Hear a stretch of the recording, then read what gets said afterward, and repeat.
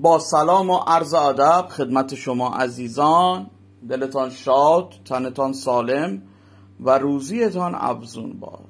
به کانال جادو خوش آمدید subscribe و لایک و معرفی به دوستان رو فراموش نکنید و زنگوله را بزنید.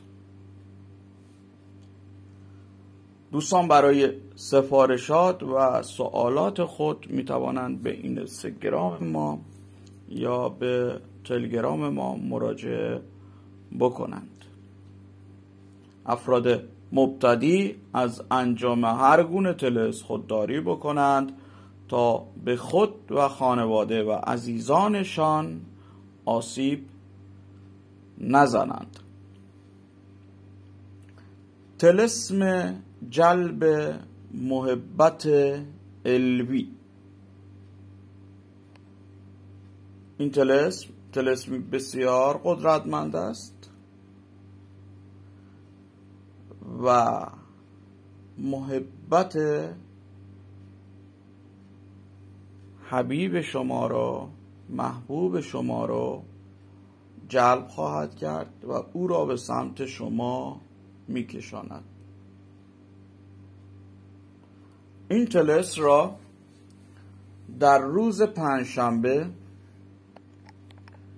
در ساعت شمس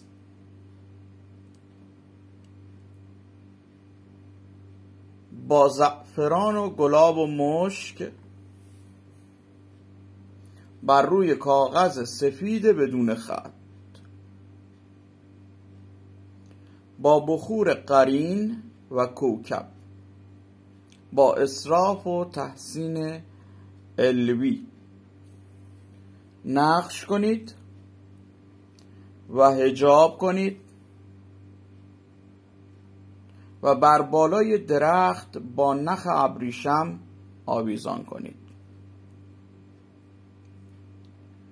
و از عجایب این تلسم بهره ببرید. نزدیکتر می رویم تا این تلس را ببینید.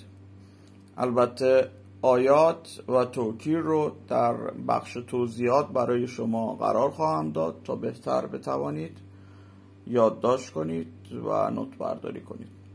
امیدوارم در انجام این تلسم موفق باشید. شما را به خدای بزرگ میسپارم. خدا یار و نگهدار شما عزیزان.